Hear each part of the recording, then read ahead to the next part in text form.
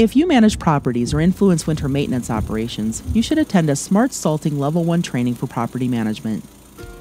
Salt plays an important role in Minnesota winters, fighting snow and ice covered pavement and maintaining public safety. However, Minnesota's waters are getting saltier each year, much of it because of winter salt use. Once salt is applied to sidewalks, it moves into our water and pollutes it permanently. Salt is dangerous to fish and most living things in our lakes, rivers, and wetlands. Salt harms trees, grass, and flowers. It can damage concrete and pavers, and it can rust door jambs, railings, and more. For every ton of salt applied, you can expect at least $1,000 of infrastructure damage.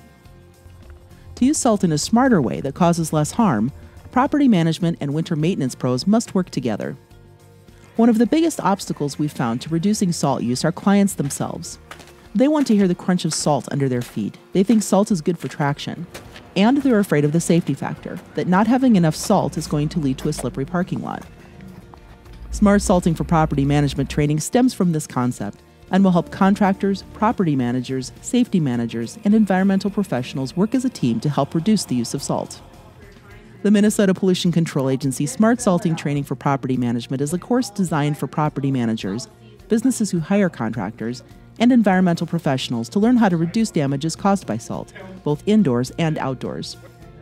The course will teach how to know if maintenance practices being used are sustainable, how to deal with liability, and how to manage other winter maintenance headaches.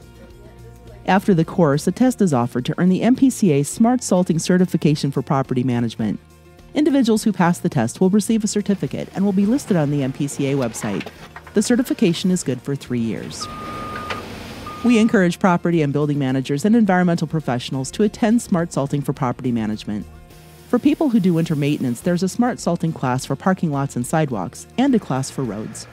Working together, we can protect our properties and our water resources from the harm caused by too much salt.